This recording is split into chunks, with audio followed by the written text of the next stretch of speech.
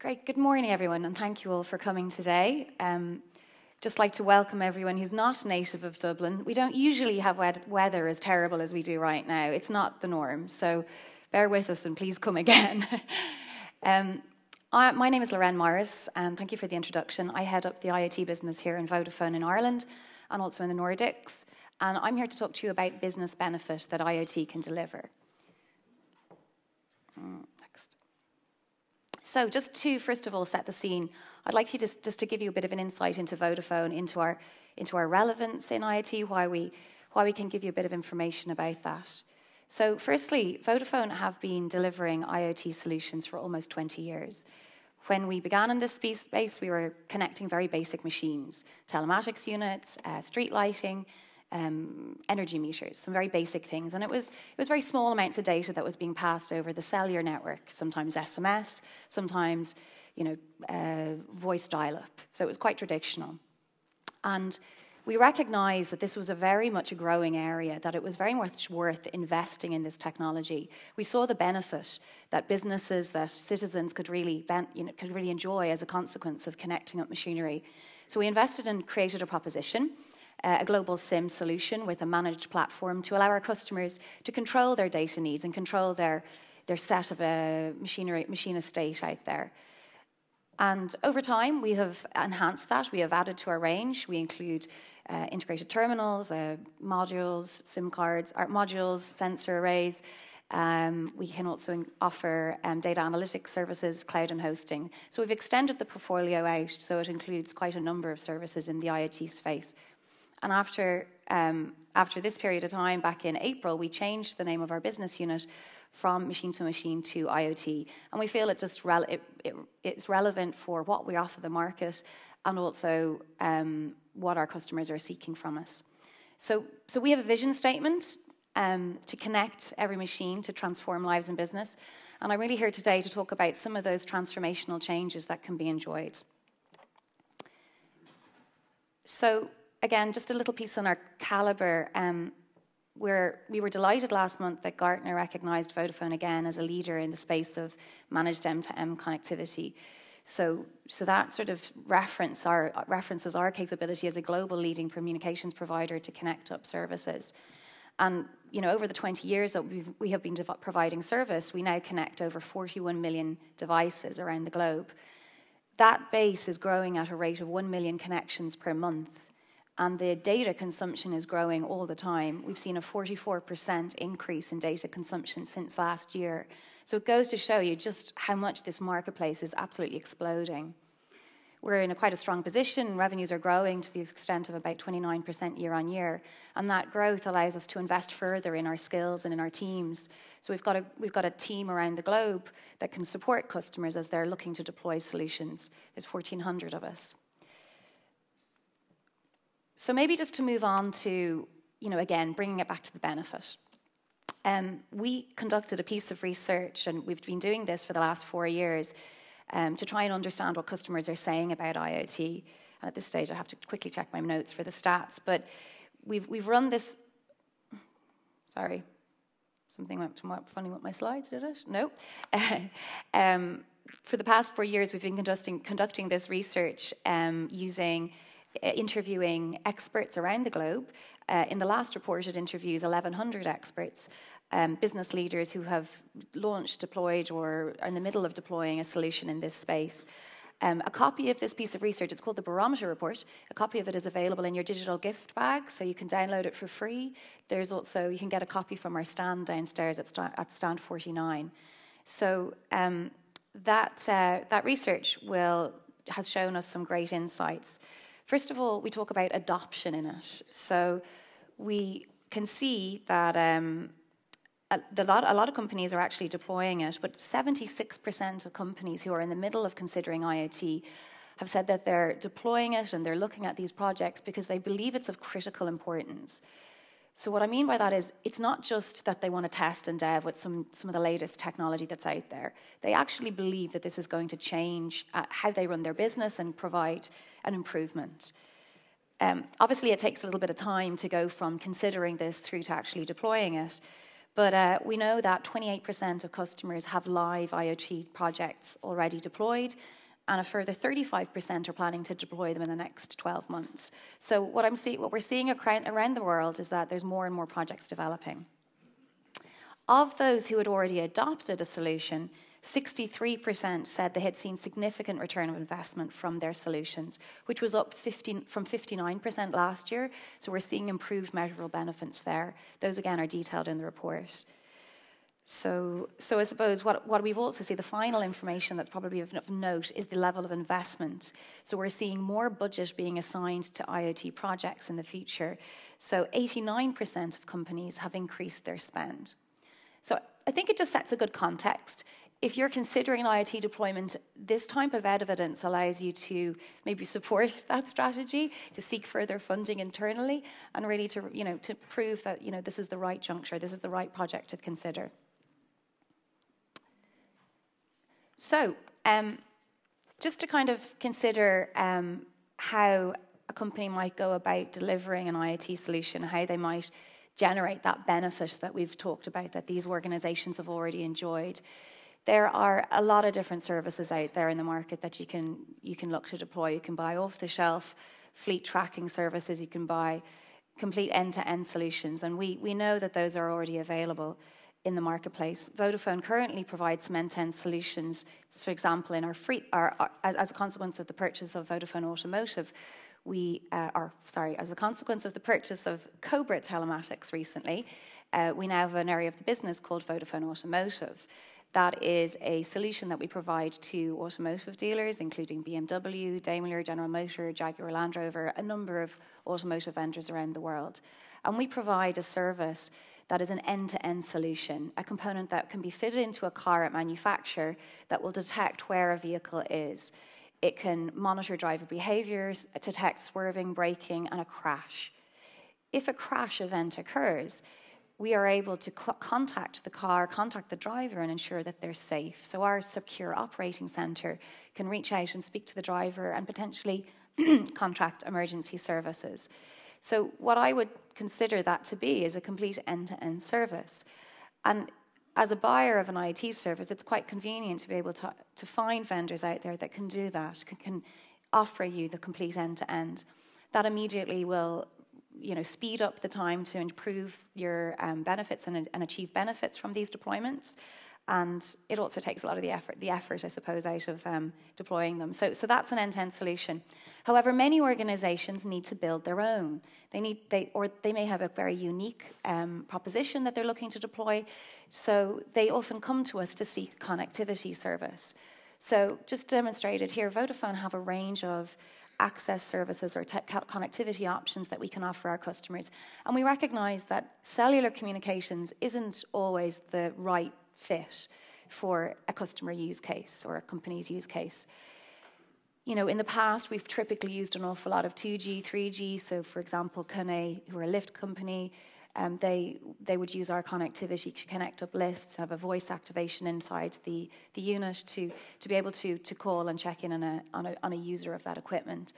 4G is now used more extensively with a lot of our clients, including BMW, who offer internet in the car services, which is great for keeping the kids in the back seat happy on their iPads if you're on a long journey. Really helpful application. However, we're seeing more and more use cases that have challenging sets of requirements around reaching those machines that are out in the field. Satellite is a new, a new product that we can offer. As a consequence of a partnership that we've done with In- Inmarsat, we can now offer satellite connectivity. It's really great for, um, we've seen it quite prevalent in cargo, you know, remote cargo, where you might be at sea for long periods of times and you've high value goods. Um, Tesco would be a client of ours who are using it for rapid deployment of EPOS terminals. So lots of really a real variety of use cases that you have we have out there that would fit that particular need. And then, of course, there's fixed. I mean, it seems very traditional, but Vodafone would offer a range of fixed services, particularly here in Ireland, where we have uh, a, a, big uh, investment locally in SIRO, into a joint venture company that we've we've created with ESB Networks to provide fibre to the home. But more from an enterprise point of view, we also uh, offer fix a range of fixed services in terms of DSL, fiber, and, and lots of different options. And those are relevant when you consider some more uh, critical use cases. So it's considering what the application is for that customer. When we look at the national grid, they have very, very uh, critical services that they need to run. They need to communicate with important stations. We can't see the energy grid going down. So, as a consequence, when we supply them services, we consider a mix a mix of cellular, a mix of fixed services, satellite, whatever it needs, whatever that particular site requires, we'll provide a range of services.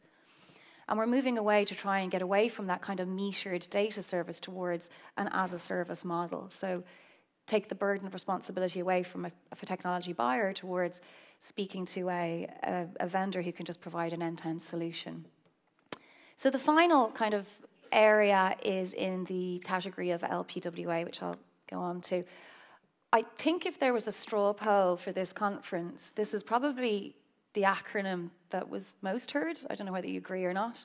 It's this around NB-IoT, and I think in this in, in technology we love acronyms. So I'd be delighted to see us come up with a new name for these type of communications. I'm not going to try and explain from a technical point of view. I think we've all talked about LP, LPWA, but this is a fantastic, from, from, a, from a business point of view, I see this category of, category of communications as a fantastic way of opening up new opportunities. The fact that this technology is low cost, low power, and great coverage means that we can now provide connectivity to endpoints that are under the ground that are really rural, deep in forests, uh, under, you know, in, in random and obscure locations. We can consider new deployments in smart home to provide connectivity, and instead of having to, excuse me, instead of having to put multiple gateway devices into a home, you can have a single, use LPWA technologies to connect into every unit that's out there. So I'm, I'm, I'm delighted that this technology has emerged. There's a number of different flavors in it. From a Vodafone standpoint, we consider narrowband IoT or NB-IoT to be the best that's out there. We're not on our own in that space. There's a number of vendors who, who would agree with that. And uh, like the likes of Huawei, obviously the sponsor of this event would, would endorse that also, including other vendors would include Intel, Ericsson, uh, u-blox, so new numbers of uh, very um, credible companies in the space of communications. So, so NB-IoT, as I say, is our version that we're going to be launching. The good news from an Ireland context is that this technology has been launched in the Irish market. Um, you may have seen announcements about that previously. The, uh, the update probably to provide today is that we expect to have narrowband and IoT available in the Irish market from January, um, from a, for a commercial launch in Q2. So it'll be available to customers to test and dev imminently, which really affords, I believe, Irish customers here today an opportunity to really try the latest and greatest. Our other markets that we're deploying this, to, in Q1 include the Netherlands, Germany, and Spain. And we, always, we already have some live cities in Spain. But Vodafone will be launching this to every market around the world, so it's, it's, it's planned. So, maybe just to give you a quick taste of a live customer who's benefited from the technology, because there's not that many, it's, it's brand new. We did conduct a project um, with Aguas de, Agua de Valencia. Now, excuse my pronunciation, I don't speak Spanish. But this is in Moncada, in Valencia, in Spain. Um, this is a, a national a water company who have a range of assets that they need to monitor. And they were using a mix of technology to serve underground uh, components, units that were located in basements, really hard to reach locations. And they were being served by a mix of connectivity types from cellular through to unlicensed radio, unlicensed mesh. So the, the, the organization were really struggling to, um, to manage that breadth of vendors. We deployed a test environment and we connected up 70 meters across a very large range of 10 squared meters. And we were able to connect into each of those components very easily. So it really proves that, that the technology works under the ground in really difficult and hard to reach places. And I think it really showed the value of being able to buy a technology from a vendor on an as a service model without having to invest in your own owning your, your ownership of that technology yourself. So they no longer need to operate and run their own licensed radio to support the grid. They can they can work and focus on running the water network and be able to procure connectivity services from vendors such as Vodafone and others. So I know I'm kind of slightly overrunning, so I'm going to try and be quick here. I had a couple of tests, a couple of case studies to talk you through. I'll shorten it down somewhat.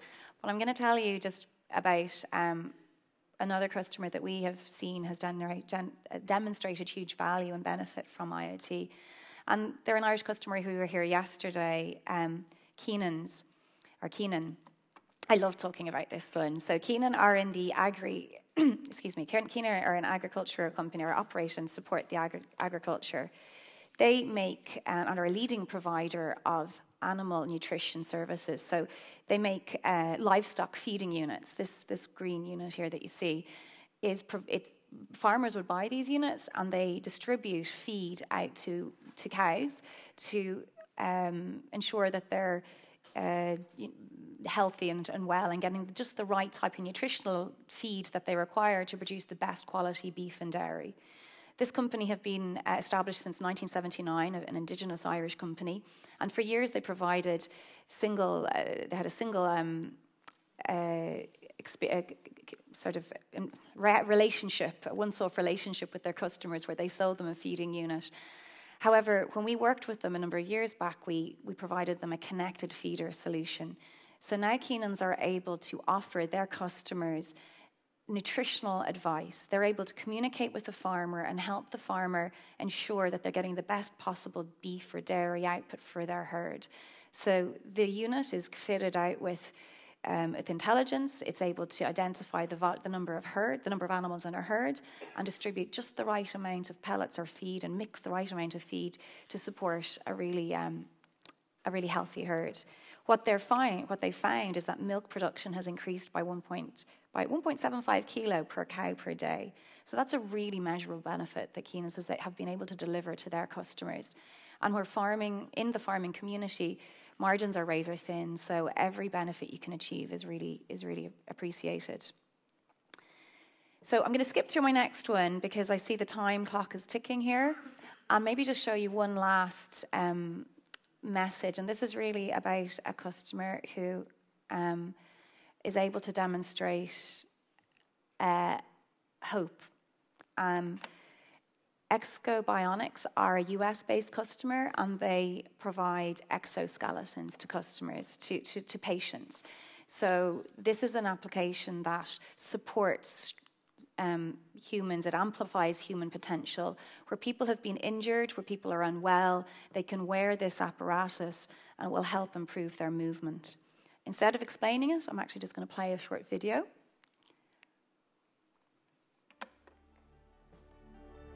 I'm an ex-soldier. I got sent to the Falklands to run a team out there for six months. During an exercise, I got shot. Bullet went straight through my hip. I hit the ground and just couldn't move my legs, so I kind of knew straight away that I was paralysed. So I spent two years rehabilitating, and about three years in, I found out about exoskeletons. I found Ekso and realised this is something that could really help me.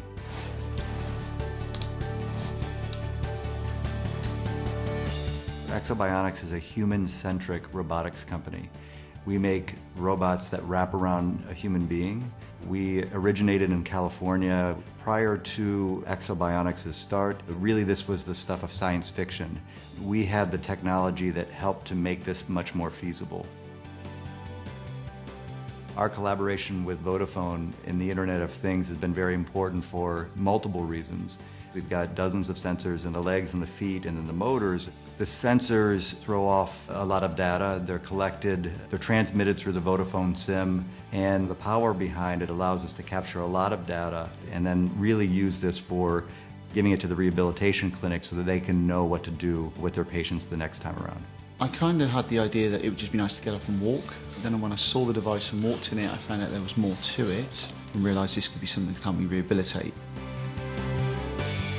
The Vodafone Internet of Things solution has helped Ekso Bionics an awful lot because it is much more reliable. For our manufacturing and operations, it allows us to provide one solution for the globe. We don't have to worry about a different solution for the US versus Europe. We can also look at it in a larger cohort to see trends, for example. What we've found with Vodafone is truly a partnership. We're working closely with them, not just on the current products, but on the future products. And if you can imagine how important data is in the clinic, it's going to be even more important when you take these devices into the home. Now I'm getting so much progress and so much more function. It's a possibility I could use the Ekso to the point where I wouldn't need the Ekso anymore, and that's scary. That's scary because I never thought that would be possible. But we just wait and see.